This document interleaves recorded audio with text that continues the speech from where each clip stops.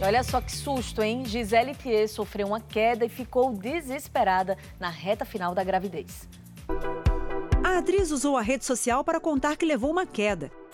Gisele relatou um momento de angústia que durou segundos na tentativa de proteger a barriga.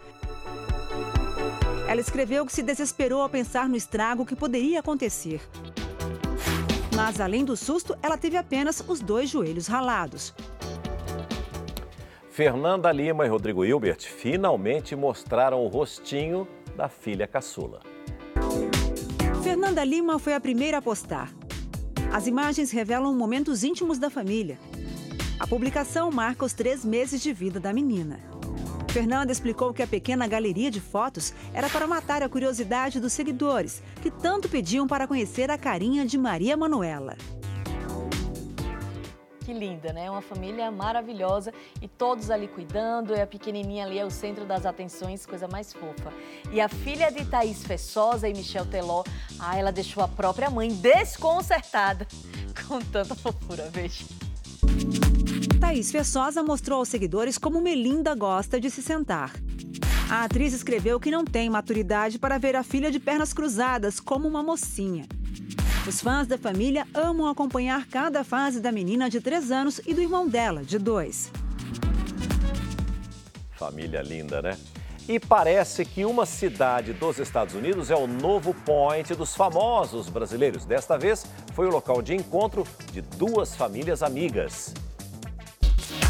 Nos últimos dias, as cantoras Anitta e Lesha e a atriz Juliana Paz compartilharam com os fãs a diversão nas montanhas nevadas de Aspen. Agora foi a vez de uma nova turma. Os apresentadores Patrícia Bravanel e Márcio Garcia juntaram as famílias na estação de esqui, no estado do Colorado.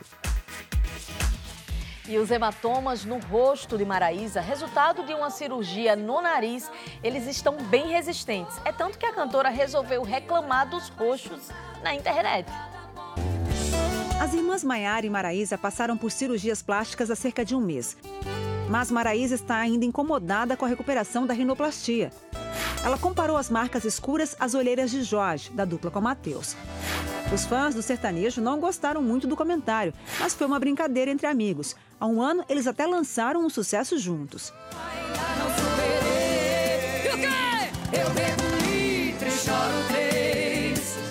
Eu esqueço de você. E um grupo que está já há 40 anos na estrada surpreendeu o público com um anúncio inusitado.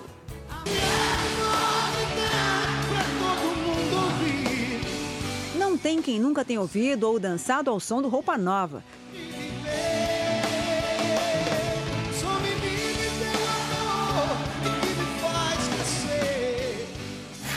A banda se formou em 1980, vendeu mais de 20 milhões de discos e tem mais de 50 músicas nas listas de sucesso.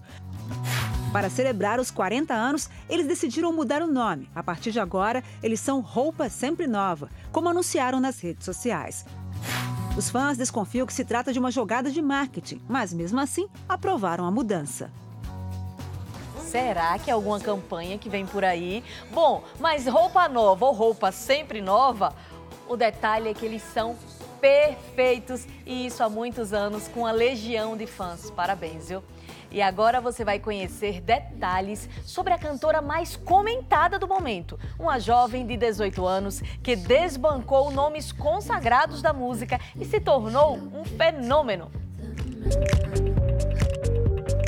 Nos últimos dias, só da Billie Eilish na internet. Você pode não saber de quem se trata, assim de nome, mas com certeza já ouviu uma música dela. Ela se tornou a mais jovem artista a vencer as principais categorias no Grammy. Um feito com apenas 18 anos recém-completados e poucos anos de profissão. Em 2015, ela e o irmão escreveram uma música que começou a repercutir na rede. Dois anos depois, ela já tinha uma canção em uma série adolescente.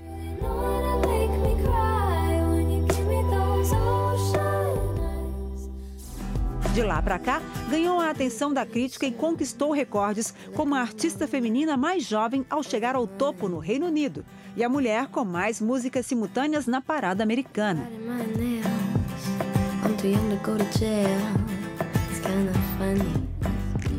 Este ano, Billie foi até convidada com o irmão para compor a música tema do próximo filme de 007.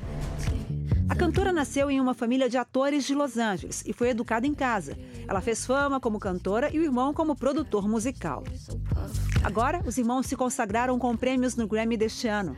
Ela levou nada mais, nada menos do que cinco das seis indicações.